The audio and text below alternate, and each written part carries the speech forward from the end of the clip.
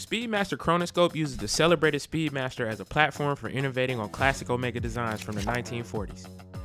The 43mm stainless steel case is instantly recognizable as an Omega Speedmaster. The dial is where the design takes a fresh look, with three measurement scales present on the chronoscope.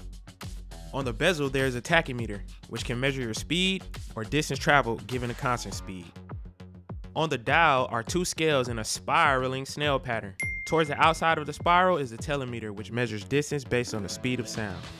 And at the center is a pulsometer, used for measuring a person's heart rate.